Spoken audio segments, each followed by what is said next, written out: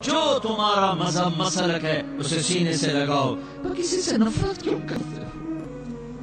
ना करो नफरत। पता नहीं कौन कौन सी अदा मेरे अल्लाह को पसंद है और अल्लाह जन्नत का फैसला कर दे। तुम किसी के ठेकेदार हो।